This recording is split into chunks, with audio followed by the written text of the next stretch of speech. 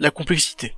Un sujet complexe, mais en fait pas vraiment. C'est une partie intégrante de l'informatique et elle est présente partout, dans tous les domaines. Aujourd'hui, nous allons voir ce que c'est que la complexité, son utilité et comment elle se calcule.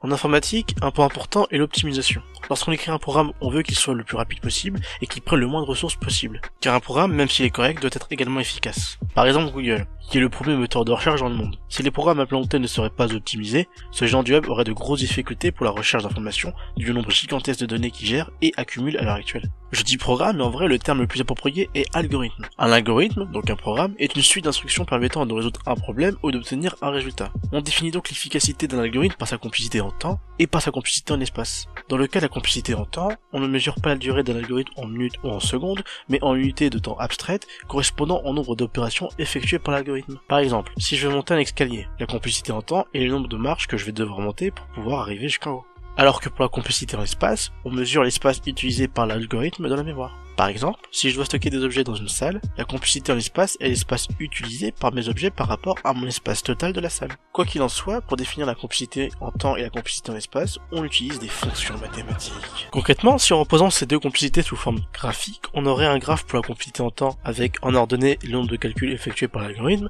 et en abscisse le temps que mettra l'algorithme pour exécuter les calculs. Dans le cas de la complicité en espace, on aurait en ordonnée la durée d'exécution et en abscisse la taille des données que va utiliser l'algorithme au fur et à mesure qu'on la dans le temps. Pour être plus efficace, on définit la complicité d'un algorithme par rapport à son pire des cas, car on est sûr d'englober tous les cas possibles que l'algorithme peut effectuer, afin qu'il ne prenne jamais plus de temps et de ressources que prévu. Autrement dit, la complicité d'un algorithme est donc sa performance dans le cas où le problème prend plus de temps et de ressources pour se résoudre. Mais la complicité s'intéresse aussi à la performance asymptotique d'un algorithme, c'est-à-dire lorsque les données manipulées sont très grandes, car dans le cas contraire, les systèmes de nos jours sont assez puissants pour manipuler des données de petite taille. Donc, la complicité d'un algorithme est donc une mesure de sa performance asymptotique dans le pire des cas.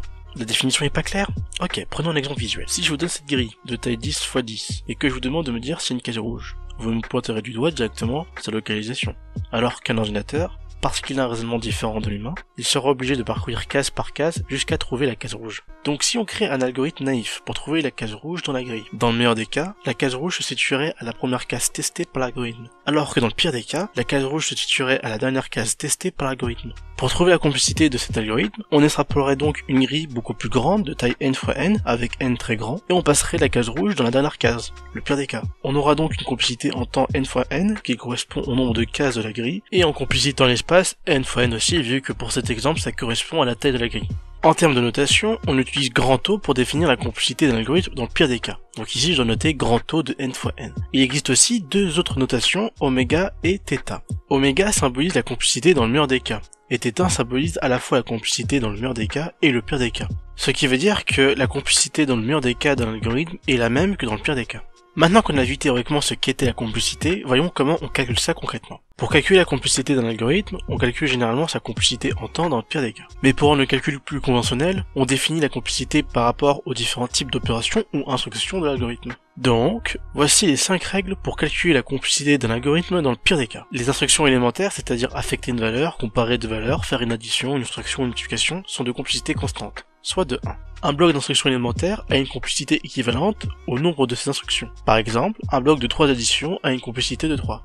La complicité de la structure if-else, permettant d'exécuter des blocs d'instructions sous condition, correspond à la complicité du bloc ou de la vérification la plus importante. La complicité de la boucle for, permettant de répéter un nombre de fois fini un bloc d'instruction, correspond à la complicité du bloc contenu dans le for, multiplié par le nombre de fois où on effectue la boucle. Enfin, la complicité de la boucle voile, qui fait la même chose que la boucle for, sauf qu'on peut répéter un nombre infini de fois le même bloc d'instruction, correspond à la du bloc ou de la vérification la plus importante, multiplié par le nombre de fois où on effectue la boucle. Prenons un exemple pour mieux comprendre ces règles. Dans ma vidéo, comment code en j'avais fait une fonction naïve permettant d'additionner deux nombres entre eux. Donc je vais pas la réexpliquer, n'hésitez pas à aller la voir si jamais ça vous intéresse. En plus je suis dedans donc forcément la vidéo elle est bien. J'ai légèrement modifié la fonction pour mieux coller à cette vidéo. Donc je pars du principe que vous comprenez la fonction. On commence donc par faire une affectation de valeur, puis on rentre dans une boucle qui sera itérée b fois. Pour chaque itération de la boucle, on fait une affectation de valeur plus une incrémentation, donc l'incrémentation qui est une addition. Je vais utiliser la règle sur la boucle for pour déterminer sa complicité. La complicité à l'intérieur de la boucle est 2 parce qu'on a une affectation plus une addition. et étant donné que ces deux instructions élémentaires vont être itérées b fois, donc on a 2b. Finalement, la complicité de la boucle for est 2b. Après, on retourne le résultat, mais c'est pas compté dans le calcul de la complicité. Au final, quand on rassemble tout, on obtient une complicité égale à O de 2b plus 1. Je vais légèrement modifier cette notation. Je vais remplacer le paramètre b par n, car en général on préfère avoir cette notation. Donc on aura O de 2n plus 1. Petite précision, le plus que vous voyez veut dire qu'on a plusieurs blocs d'instructions différents avec respectivement leur complexité. Autrement dit, la complexité d'un algorithme est l'ensemble des complexités de ces blocs d'instructions. Mais pour comparer les différents algorithmes entre eux, on préfère par convention utiliser des ordres de grandeur, car comme je l'ai dit, la puissance de calcul des ordinateurs modernes rend négligeable beaucoup d'instructions. De ce fait, quand on compare les deux ordres de grandeur de deux complexités, il suffit de voir l'ordre de grandeur le plus petit pour conclure qu'il est le plus efficace. Donc, pour simplifier la complicité de notre exemple, en ordre de grandeur, il y a trois règles à suivre. Premièrement, on remplace les constantes multiplicatives par 1. Donc le 2n devient 1n, soit n. Deuxièmement, on annule les constantes additives, donc on vire le plus 1. Enfin, on ne garde que le terme le plus haut degré. Ici, c'est n. Mais si on avait n au carré plus n, par exemple,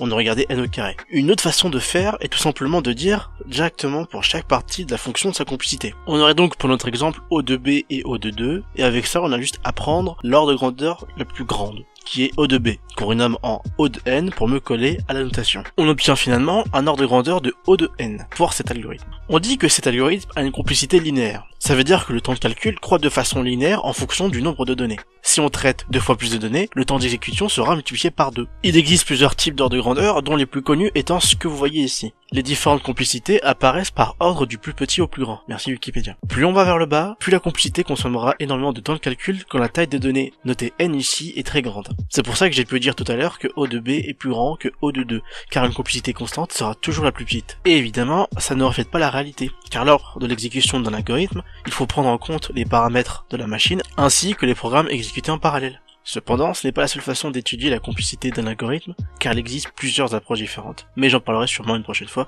ça commence à faire long. Tout comme j'expliquerai chaque ordre de grandeur du tableau dans une autre vidéo.